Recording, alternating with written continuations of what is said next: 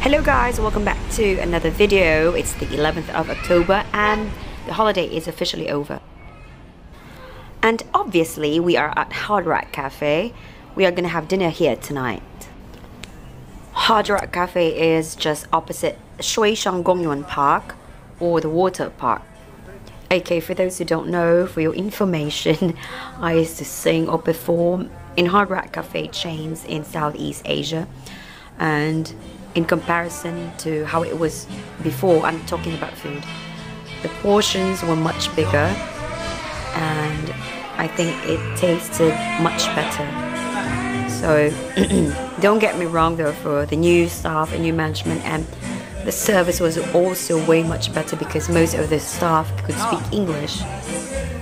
The last time I sang or performed in a Hard Rock Cafe was in 2010, so that was like 10 years ago, they started to change the theme of the cafe, so it really looks like this everywhere. And I think they opened just two years, two, three years ago.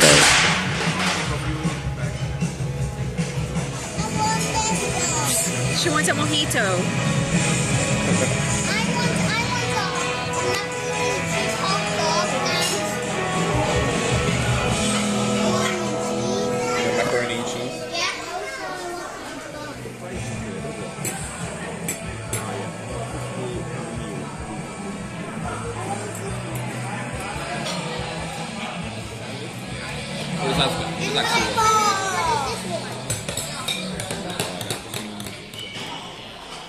Amém.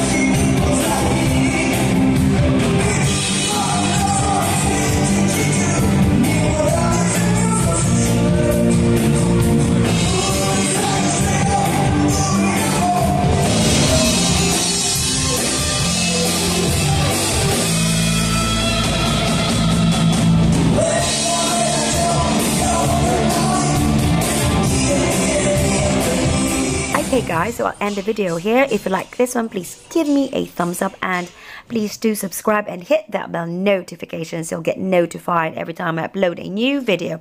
Bye!